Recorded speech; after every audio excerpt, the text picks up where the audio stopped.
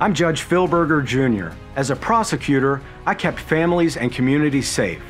If you believe we need law and order judges, I would appreciate your vote for me, Judge Phil Berger Jr.